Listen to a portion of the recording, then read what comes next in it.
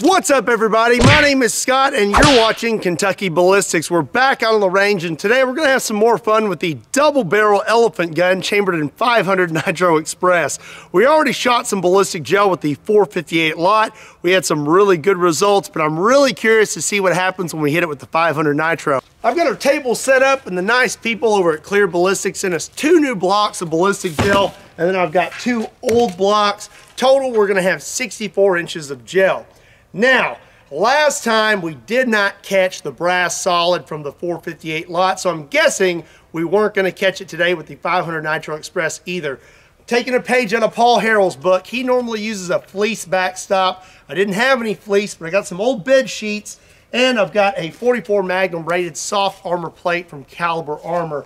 I'm hoping that the round will slow down enough after it makes it through all that gel and we're able to catch it with that. While I get this set up, I want to tell you about my 1 million subscriber giveaway. There's a link in the description down below where you can go get entered. I'm giving away a lot of cool stuff. There's going to be an autographed goat gun from Chuck Liddell. There's going to be an autographed Kentucky Ballistics action figure. Not to lie, it's a little bit creepy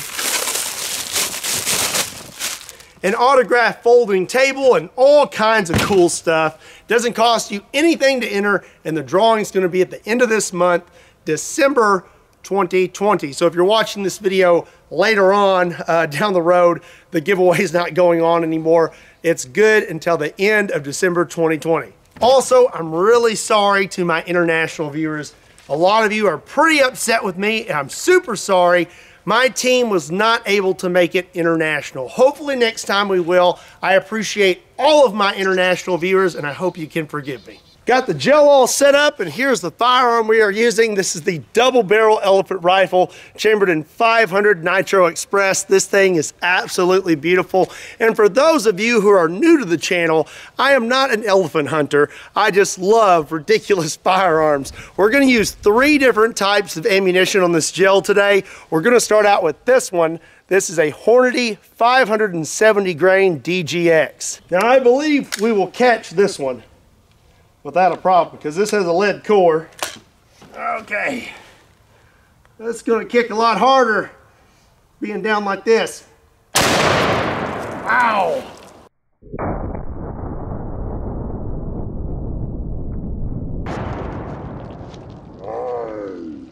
Well, we blew that block off the table and that is a lot of damage to that first block. Went low on the second block and busted through the table. All right, let's try again.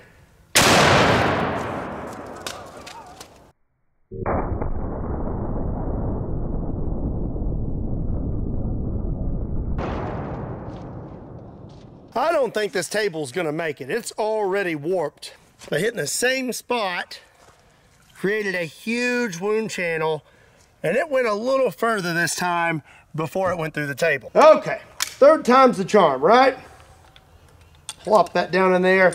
I'm sure one of you is gonna notice that my finger's wrapped up. I cut it on this back trigger. It seems to be a little bit sharp. I just don't want to get blood on my gun, so I went ahead and wrapped it up. Okay, let's see if we can get it this time. I think we did it. I think we caught it.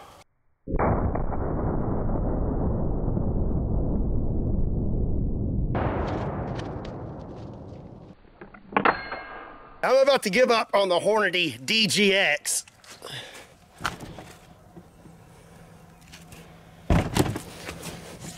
So this time, went through the block, went to the second block, and then made it into the third, and then we shot out the side of the block. Well, I'm gonna be honest, this isn't going very well so far. Uh, we have tried three times with the DGX and we cannot catch one of the rounds. So let's go ahead and move on to the next ammunition.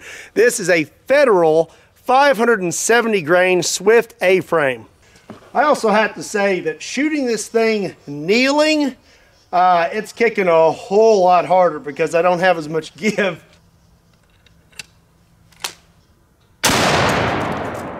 Jeez!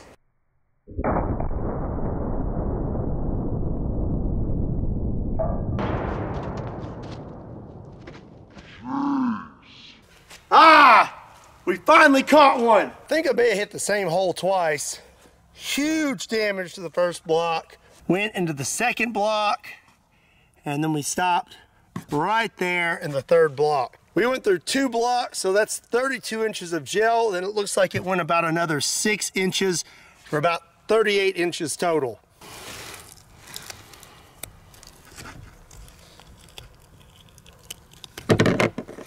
That is a very large round. it stayed together really well.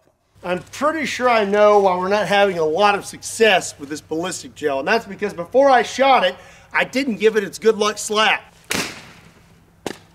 Now for the round that I'm most excited about. This is the Nosler 570 grain brass solid. The way things are going, I'm pretty doubtful we're gonna catch this thing, but I'm really hoping that the bed sheets and the body armor make a difference.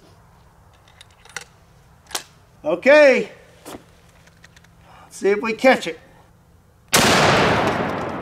Oh my goodness!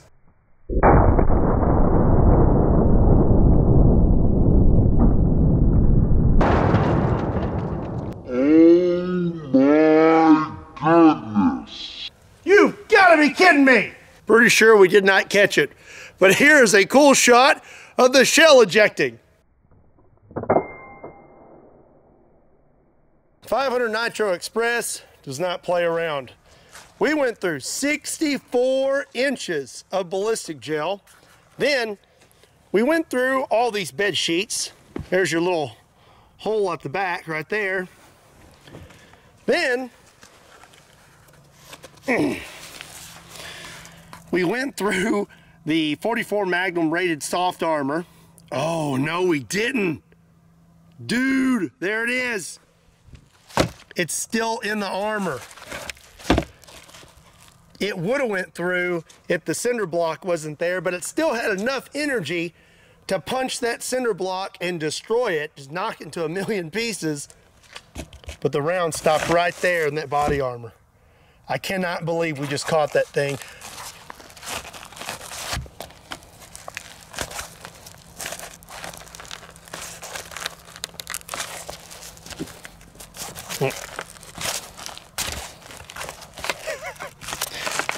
Like a tube of lipstick in that thing.